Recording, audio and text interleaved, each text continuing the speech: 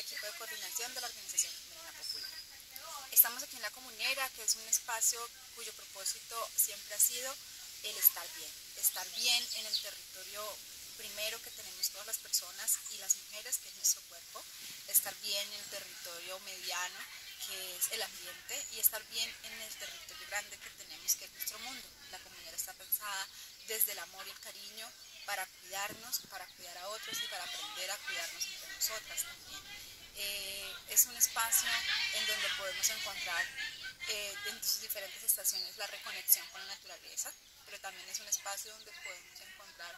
eh, calma y paz para que en nuestro territorio primero, que es nuestro cuerpo, podamos sanar, podamos eh, fortalecernos. Eh, entonces aquí abordamos desde varias lógicas esos territorios. Hablamos de la medicina ancestral, hablamos del cuidado de las fuentes hídricas especialmente, que representan para nosotras el cuidado de toda la vida en el medio ambiente y el cuidado de las buenas maneras de ser es una apuesta colectiva de las mujeres de la Organización Femenina Popular por la defensa del ambiente, pero también por el derecho a vivir en paz y tranquilas en nuestros territorios.